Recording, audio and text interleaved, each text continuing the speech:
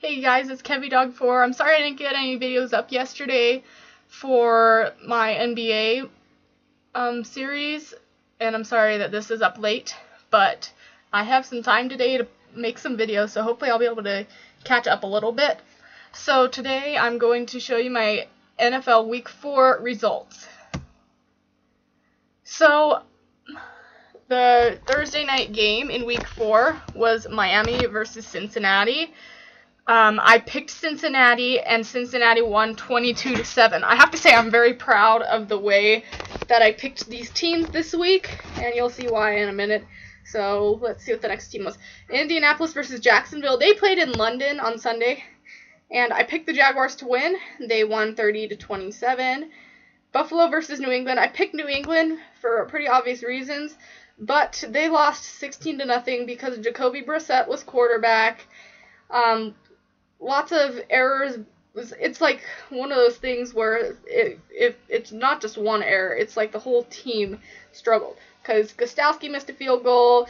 Um, no one could score on in any part of the game, and when there was supposed to be a score, they would get a penalty and get pulled back. So they lost 16 to nothing. First loss of the season for New England. Tennessee versus Houston. I picked the Texans. They won 27 to 20. Detroit versus Chicago. I picked the Bears to finally win a game, and they did 17 to 14 under Brian Hoyer. Um, Carolina versus Atlanta. I picked the the Falcons, and they won 48 to 33. Seattle versus the Jets. I picked the Seahawks. They won 27 to 17. Oakland versus Baltimore. I picked Oakland to take out the undefeated Ravens, which they did by one point, 28 to 27 in a comeback victory. Cleveland versus Washington. I picked the Browns to finally win a game, and they did not. Um, 31 to 20. Uh, Denver versus Tampa Bay. I picked the Broncos. They won 27 to 7, so they're still undefeated. Los Angeles versus Arizona. I picked the Rams, and they won 17 to 13. Dallas versus San Francisco. I picked the Cowboys to beat the Niners, and they won 24 to 17.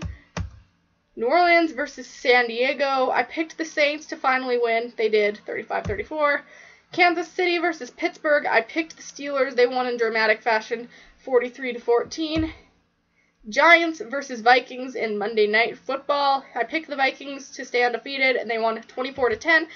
The bye games or the bye teams for this week were Green Bay and Philadelphia.